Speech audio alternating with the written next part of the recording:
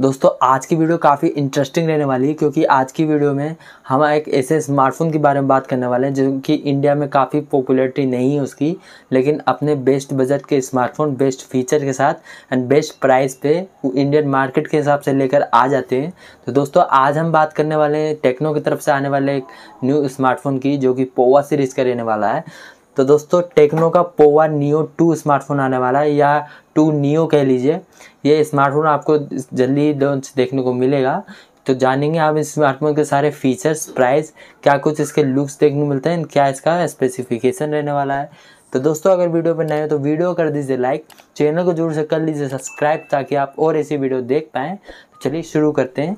And दोस्तों, सबसे पहले मैं आपसे एक सवाल पूछना चाहूँगा, क्या आपने टेक्नो का फ़ोन यूज़ किया है? या आपका किसी भी रिलेटिव के पास है तो आप कमेंट में ज़रूर बता सकते हैं कि वो स्मार्टफ़ोन आपको यूज़ करने में कैसा लगा। तो जानते हैं सबसे पहले हमारे फ़र्स्ट पॉइंट से। दोस्तों, सबसे पहले आप स्मार्टफ़ोन को देखते हो तो आप स्मार्टफ़ोन देखो, उसकी जो बैक बॉडी है, वो आपको प्लास्टिक की देखने को मिलती है। प्लास्टिक के ही आपको फ्रेम देखने को मिल जाते हैं ग्लास का फ्रंट देखने को मिल जाता है। फ़ोन की क्वालिटी डिसेंट रहने वाली है। आपको इसमें थ्री कलर्स अवेलेबल देखने को मिलते हैं, जो कि ब्लैक, ब्लू एंड सिल्वर रहने वाला है। वहीं इसकी डिज़ाइन की बात कर लें तो आपको पहले की तरह टेक्नो की कैमरा हाउसिंग रखी गई लेफ़्ट में, एंड टेक्नो की ब्रांडिंग के साथ आने वाला है। एंड ये फ़ोन जो फ्रंट में आपको वाटर ड्रॉप नोट्स के साथ देखने को मिल जाएगा। तो दोस्तों, एक बात और, ये स्मार्टफ़ोन काफ़ी बल्कि रहने वाला है। अब ऐसा मैं क्यों बोल रहा हूँ, जानेंगे हम आगे इस वीडियो में। चलिए बात कर लेते हैं स्मार्टफ़ोन के डिस्प्ले की। डिस्प्ले काफ़ी ह्यूज रहने वाला है, काफ़ी बल्कि स्मार्टफ़ोन रहने वाला है।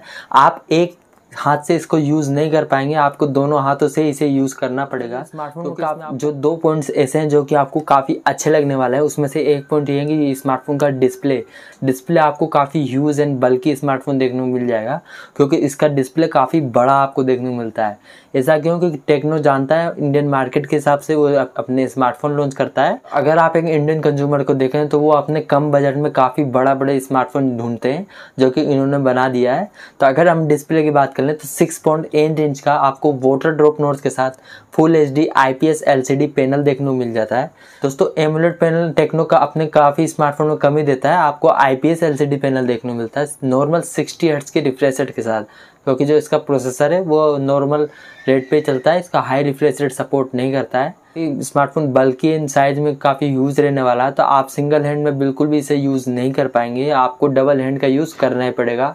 दोस्तों कंटेंट वॉचिंग में काफ़ी बेहतरीन स्मार्टफ़ोन रहने वाला है। अगर आप इसमें वेब सीरीज़ जैसे ओ टी टी प्लेटफॉर्म से नेटफ्लिक्स देखते हैं तो उसमें काफ़ी आपको मज़ा आने वाला है, क्योंकि इसमें बड़ी ह्यूज स्क्रीन देखने को मिल जाती है, जो कि सिक्स पॉइंट एट इंच की है। क्योंकि तो चलिए बात कर लेते हैं स्मार्टफ़ोन के परफॉर्मेंस की। परफॉर्मेंस आप देखते हैं तो आपको एक उसमें प्रोसेसर देखने को मिल जाता है जो कि 12 एन टेक्नोलॉजी बेस्ड है। एंड जो ये प्रोसेसर है वो मीडिया टेक का है। MediaTek Helio G eighty five five का प्रोसेसर देखने को मिल जाता है। अब दोस्तों, ये एक हायर रिफ्रेश रेट सपोर्ट नहीं करता है, इसलिए स्मार्टफ़ोन में sixty hertz normal refresh rate दी गई है। दोस्तों, इसमें आपको अगर ज़्यादा देर तक गेमिंग करते हैं तो आपको इसमें जो गेमिंग लेग देखने को मिलती है, आपको स्मार्टफ़ोन हीटिंग इशू देखने को मिल सकते हैं। प्राइस के हिसाब से काफ़ी डिसेंट सा इसका प्रोसेसर दिया गया है। दोस्तों स्मार्टफ़ोन के कैमरा की बात कर लें तो आपको डुअल कैमरा सेटअप देखने को मिल जाता है।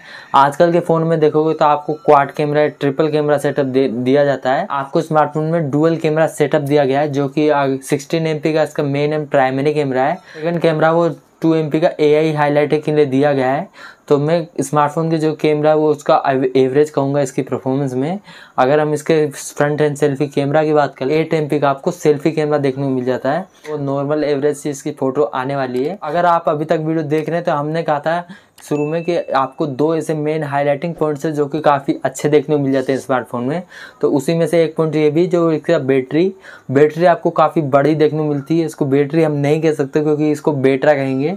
वो ज़्यादा अच्छा होगा क्योंकि इसमें सात हज़ार एम की आपको बैटरी देखने को मिल जाती है, जो कि काफ़ी ह्यूज एंड बल्कि स्मार्टफ़ोन को बना देती है। आप सिंगल हैंड में इसे यूज़ नहीं कर पाएँगे। आपको डबल हैंड में इसे यूज़ करना पड़ेगा। तो अगर आप एक हैवी यूज़र हैं तो आप एक से डेढ़ दिन तक अपना स्मार्टफ़ोन का बैटरी बैकअप ले पाएँगे। लेकिन अगर आप एक नॉर्मल यूज़र है तो आप दो से ढाई दिन तक भी स्मार्टफ़ोन का बैटरी बैकअप चला सकते हैं। एंड वहीं चार्जिंग की बात कर लें तो 18 वोट की आपको फास्ट चार्जिंग देखने को मिल जाएगी। 33 वोट को सपोर्ट नहीं करेगा तो आपको काफ़ी ज़्यादा टाइम भी लगने वाला है। एंड टाइम लगेगा तो आपको जो बैटरी वो भी काफ़ी दमदार एंड एफिशिएंट होने वाली है। जो चार्जर वो आपको बॉक्स में ही देखने को मिलता है। थ्री पॉइंट फाइव एम का जेक मिलता है। रियर माउंटेन फिंगरप्रिंट देखने को मिल जाएगा। आपको फेस अनलॉक जैसे फीचर्स देखने को मिलते हैं। ऑल सारे सेंसर आपको स्मार्टफ़ोन में दे दिए गए हैं। तो सॉफ्टवेयर एंड यूआई की बात करें तो आपको स्मार्टफ़ोन में एंड्रॉइड ट्वेल्व के लेटेस्ट अपडेट के साथ आपको हाई ओएस इनका देखने को मिल जाता है टेक्नो का। इनमें काफ़ी सारे बग्स भी आते हैं आपको काफ़ी नॉर्मल भी आता है तो आप बग्स का सामना कर ज़रूर से करना पड़ेगा स्मार्टफ़ोन में। तो चलिए चलिए बात करते हैं स्मार्टफ़ोन के मेन पॉइंट की वो होता है दोस्तों इसका प्राइस तो अगर आप इसके 464 वेरिएंट को देखते हो तो आप तो 10 से ग्यारह हज़ार के अंदर स्मार्टफ़ोन देखने को मिल सकता है। इतने इससे ऊपर काफ़ी अच्छे ऑप्शन आपको दे दिए गए हैं। एंड वहीं अगर four one twenty eight G B की बात करें तो बारह से तेरह हज़ार के अंदर ही स्मार्टफ़ोन आपको आ जाएगा। इस प्राइस पॉइंट पे काफ़ी सही स्मार्टफ़ोन है। तो दोस्तों, क्या आप भी स्मार्टफ़ोन बाय करना चाहेंगे, आप कमेंट में ज़रूर बता सकते हैं। और दोस्तों, अगर वीडियो अच्छा लगे तो वीडियो कर दीजिए लाइक चैनल को ज़रूर से कर लीजिए सब्सक्राइब ताकि आप और ऐसी वीडियो देख पाएँ।